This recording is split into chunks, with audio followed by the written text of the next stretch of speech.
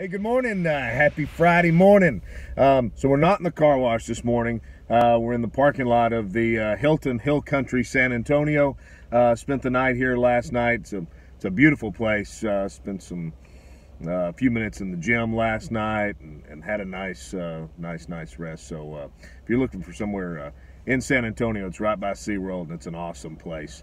Um, uh, try to stay here every time I'm in San Antonio. So, uh, anyways, uh, it's Friday, and uh, it's going to be a great day, and we're getting ready for a weekend, and uh, I hope you are too. So, uh, today's joke Where do very smart hot dogs end up?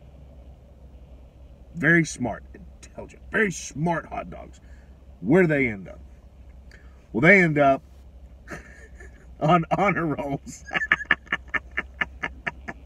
Oh man, that's some funny stuff. Hey, uh, I got a, I got a day here in San Antonio, and then I'm I'm heading home. So uh, I'm gonna get this show on the road, and uh, I uh, hope you have an awesome Friday. Gotta go.